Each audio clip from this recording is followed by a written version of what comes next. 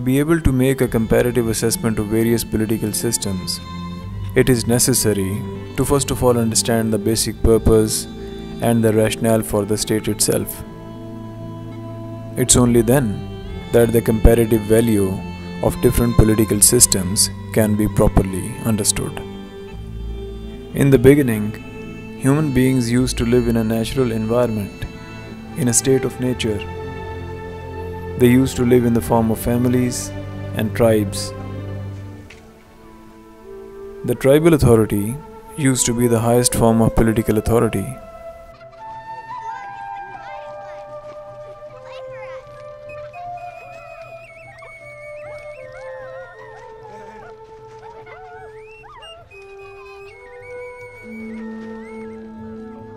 In one of his initial reports to the Royal Court of Madrid, Columbus wrote Indigenous Indians are so naive that no one who has not witnessed them would believe it.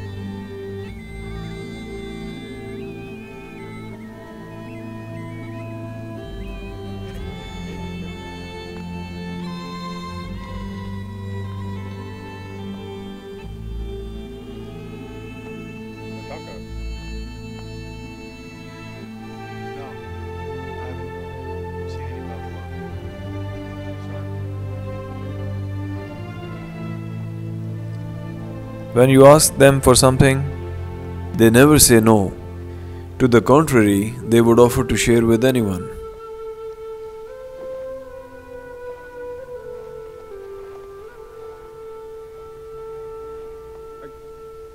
Are you hungry? Are you hungry? I have food. I have a I have a lot of food. Yeah.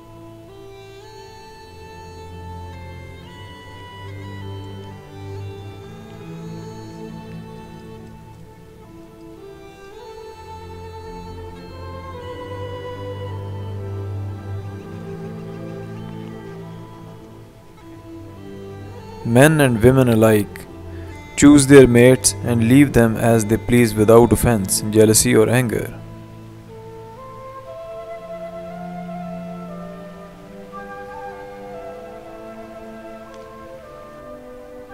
Pregnant women work to the last minute and give birth almost painlessly. Up the next day, they bathe in the river and are as clean and healthy as before giving birth. The tribal societies were organized upon the spirit of fundamental human equality, belief in fraternity and sharing, freedom of spirit without injuring other human beings, or even taking from the nature more than what was required. It was a community living with no concept of wealth or private property in the form of individual land, hired labor, or accumulated capital. Everyone worked for himself and the community. These were predominantly hunting and gathering societies. Food in excess of personal need was shared with other members of the community. Although exceptions cannot be ruled out, but generally there was a little incentive for greed.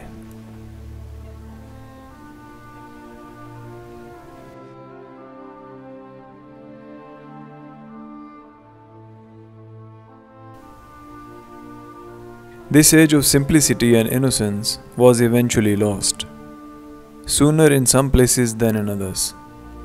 The tribes and communities grew bigger, settled on particular lands, and embarked on land tilling and agriculture. With agriculture, the concern regarding the ownership of land cropped up. Communities came into conflict with each other, and blood was shed for private property.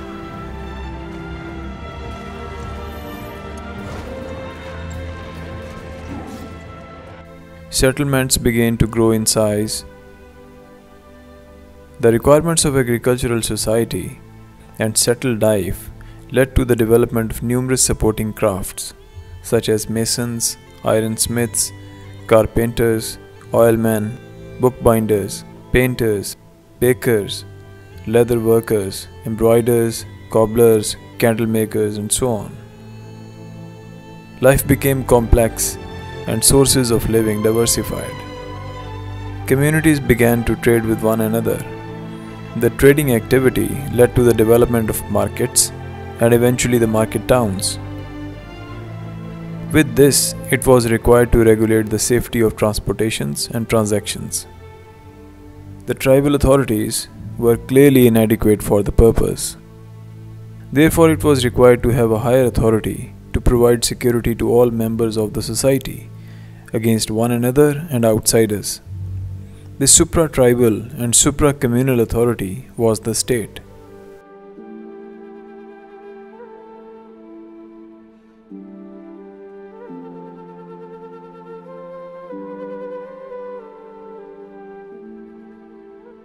Agriculture and ownership of private property unshackled the subdued selfish motive in the human beings.